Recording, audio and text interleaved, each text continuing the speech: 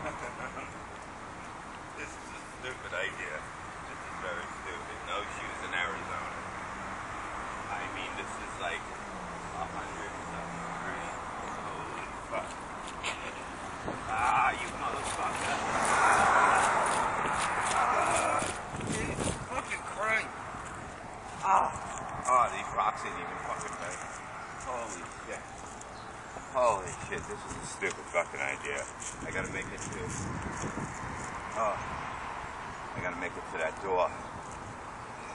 This is fucking ridiculous. Ready? Oh, Jesus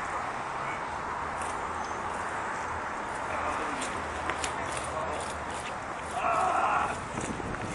Ah! Ah! Ah! Ah, you motherfucker!